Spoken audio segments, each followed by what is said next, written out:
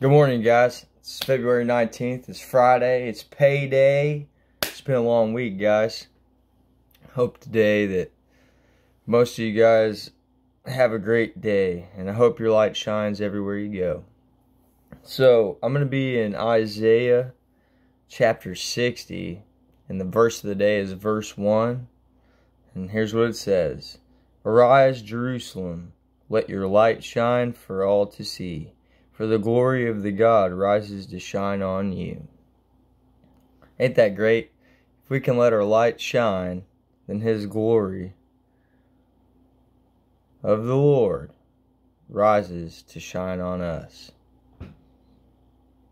So, by us showing our light, the Lord's going to be putting light on us with His glory. Amen. So, chapter 60 of Isaiah.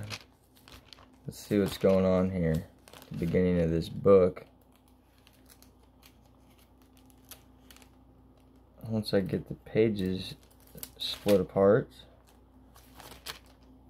then be able to. So, the words of comfort is what we're going to be reading out of. And the chapters the 27 chapters in the second half of Isaiah generally bring a message of forgiveness, comfort, and hope. This message of hope looks forward to coming the coming of the Messiah. Isaiah speaks more about the Messiah than than does any other Old Testament prophet. He describes the Messiah as both a suffering servant and a sovereign Lord. The fact that the Messiah was to be both a suffering servant and a sovereign Lord could not be understood clearly until New Testament times based on what Jesus Christ has done. God freely offers forgiveness to all who turn Him in faith. This is God's message of comfort to us because those who need heed it find eternal peace and fellowship with Him. The future kingdom future glory for Jerusalem. Arise, O Jerusalem, let your light shine for all to see, for the glory of the Lord rises to shine on you. Darkness as black as night covers all the nations of the earth, but the glory of the Lord rises and appears over you. All nations will come to your light, mighty kings will come to see your radiance. Look and see, for everyone is coming home. Your sons are coming from distant lands. Your little daughters will be carried home. Your eyes will shine and your heart will thrill with joy, for merchants from around the world will come to you. They will bring you the wealth of many lands. Vast caravans of camels will converge on you, the camels of Midian and Ephah. The people of Sheba will bring gold and frankincense, and will come worshiping the Lord. The flocks of Kedar will be given to you, and the rams of Nebaioth will be brought from my altars. I will accept their offers, and I will make their make my kingdom or temple glorious. And what do I see flying like clouds to Israel, like doves to their nests? They are ships from the ends of the earth, from lands that trust in me, led by the great ships of Tarshish. They are bringing the people of Israel home from far away. They will honor the Lord for God, the Holy One of Israel for he has filled you with splendor. Foreigners will come to rebuild your towns, and their kings will serve you. For though I have destroyed you in my anger, I will have now have mercy on you through my grace. Your gates will stay open day and night to receive the wealth of many lands. The kings of the world will be led as captives in the victory procession, for the nations that refuse to serve you will be destroyed. The glory of Lebanon will be yours, and forests of cypress, fir, and pine to, beautif- to beautify my sanctuary. My temple will be glorious. The descendants of your tormentors will come and bow before you, though who despised you will kiss your feet. They will call you the city of the Lord and Zion of the Holy One of Israel. Though you were once despised and hated, and no one traveling through you, I will make you a beautiful forever a joy to all nations, generations. Powerful kings and mighty nations will satisfy your every need as though you were a child nursing at the breast of a queen. You will know at last that I, the Lord, I am your Savior.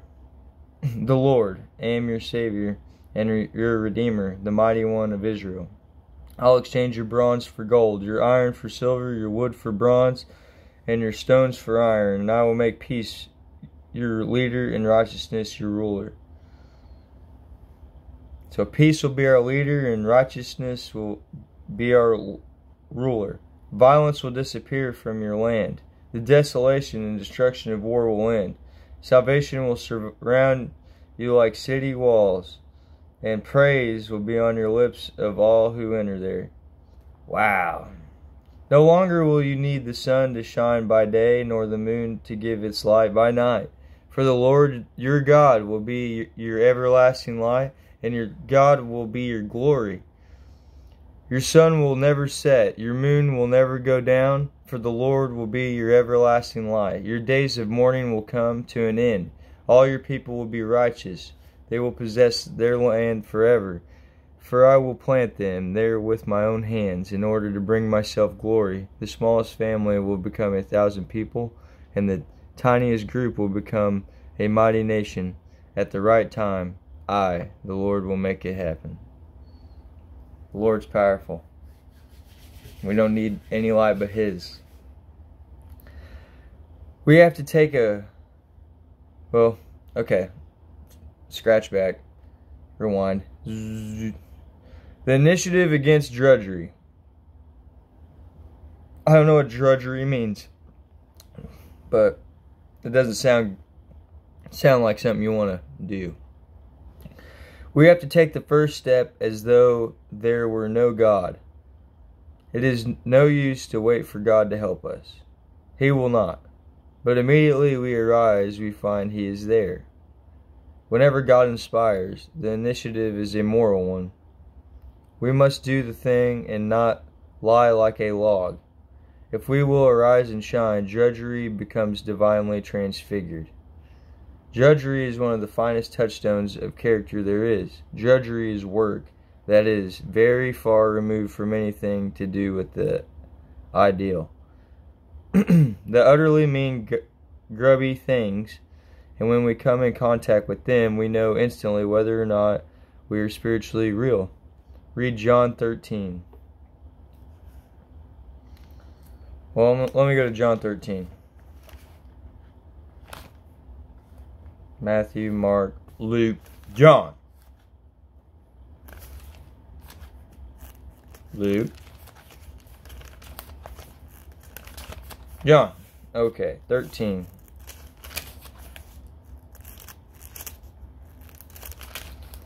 Man, you got a bunch of stuff in your Bible, it makes it hard to turn. Stuff. Man.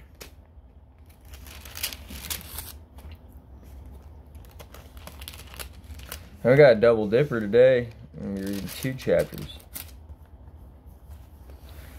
Jesus teaches his disciples. Jesus washes the disciples' feet. This is chapter 13. Before the Passover celebration, Jesus knew that his hour had come to leave this world and return to his Father. He had loved his disciples during his ministry on earth, and now he loved them to the very end. It was time for supper, and the devil had already prompted Judas, son of Simon Iscariot, to betray Jesus. Jesus knew that the Father had given him authority over everything and that he had come from God and would return to God. So he got up from the table, took off his robe, wrapped a towel around his waist, and poured water into a basin. Then he began to wash the disciples' feet, drying them with the towel he had around them, around him. When Jesus came to Simon Peter, Peter said to him, Lord, are you going to wash my feet? Jesus replied, You don't understand now what I am doing, but someday you will. No, Peter protested, You will never ever wash my feet. Jesus replied, Unless I wash you, you won't belong to me. Simon Peter explained, Then wash my hands and my head as well, Lord, just not my not just my feet. Jesus replied, A person who is bathed all over does not need to wash, except for the feet, to be entirely clean. And you, disciples, are clean, but not all of you. for Jesus knew who would betray him. That is what he meant when he said, Not all of you are clean. After washing their feet, he put on his robe again and sat down and asked, Do you understand what I was doing? You call me teacher and Lord. And you're right, because that's what I am. And since I, your Lord and teacher, have washed your feet, you ought to wash each other's feet. I have given you an example to follow. Do as I have done to you. I tell you the truth. Slaves are not greater than their master, nor the messenger more important than the one who sends the message. Now that you know these things, God will bless you for doing them. I am not saying these things to all of you. I know the ones I have chosen. But this fulfills the scripture that says, The one who eats my food is turned against me. I tell you this beforehand so that when it happens, you will believe that I am the Messiah. I tell you the truth. Anyone who welcomes my messenger is welcome to me, and anyone who welcomes me is welcoming the Father who sent me. Jesus and the disciples share the Last Supper. Now Jesus was deeply troubled, and he exclaimed, I tell you the truth, one of you will betray me. The disciples looked at each other, wondering whom he could could mean. The disciple Jesus was loved was sitting next to Jesus at the table. Simon Peter mentioned to him to ask, Who is he talking about? So the disciple leaned over to Jesus and asked, Lord, who is it? Jesus responded, It is the one whom I give bread I dip in the bowl. And when he dipped it, he gave it to Judas, son of Simon Iscariot. When Judas had eaten the bread, Satan entered into him. The Jesus then Jesus told him, "Hurry and do what you're going to do." None of the others at the table knew what Jesus meant. Since Judas was their treasurer, some thought Jesus was telling him to go and pay for the food or to give some money to the poor. So Judas left at once, going out into the night. Jesus predicts Peter's denial. As soon as Judas left the room, Jesus said, The time has come for the Son of Man to enter into his glory, and God will be glorified because of him. And since God receives glory because of the Son, he will soon give glory to the Son. Dear children, I will be with you only a little longer, and as I told the Jewish leaders, you will search for me, but you can't come where I'm going. So I'm now I'm giving you a new commandment. Love each other just as I have loved you. You should love each other. Your love for one another will prove to the world that you are my disciples. Simon Peter asked, Lord, where are you going? And Jesus replied, You can't go with me now, but you will follow me later. But why can't I come now, Lord? He asked. I'm ready to die for you. Jesus answered, Die for me? I tell you the truth, Peter. Before the rooster crows tomorrow morning, you will deny three times that you even know me. I read this yesterday out of Matthew and it's literally almost the same same thing, but it's definitely different because this is written by John. Pretty powerful. Powerful. He only wanted to wash their feet. Hmm. There's a lot of message in there. So we read John 13. We see there the incarnate God doing the most desperate piece of drudgery, washing fishermen's feet. And he says, If I then, your Lord and Master, have washed your feet, ye also ought to wash one, one another's feet. Let us wash one another's feet. It requires the inspiration of God to go through drudgery with the light of God upon it. Some people do a certain thing and the way in which they do it hollows that thing forever afterwards. It may be the most commonplace thing, but after we have seen them do it, it becomes different. When the Lord does a thing through us, He always transfigures it. Our Lord took on Him our human flesh and transfigured it, and it has become for every saint the temple of the Holy Ghost. Man, that's powerful. Beautiful message today. Let us be the light that shines, and then God's glory be the light that shines on us. Amen.